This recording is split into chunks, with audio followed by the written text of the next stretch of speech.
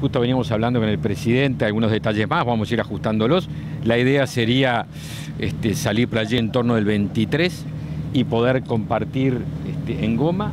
Fíjense, hoy de noche está llegando la última dotación de relevo de goma, así que mañana, mañana estaremos despidiendo a los últimos 200 compatriotas que van para, para el Congo.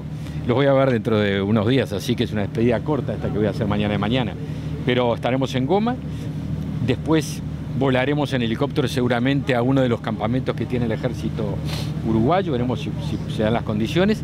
Y el 25 vamos a estar en medida seguramente compartiendo con la Fuerza Aérea en Bukavu, que es donde está el último contingente que va quedando de, la Fuerza Aérea. Así que mm, va a ser bien intenso y creo que, la verdad que yo ya estuve en el 2018, pero Navidad tiene, este, todos sabemos, algo muy especial son compatriotas que, van a estar lejos de la familia un año y creo que está muy bien que eh, la decisión del presidente, la iniciativa del presidente compartir con ellos un momento tan especial.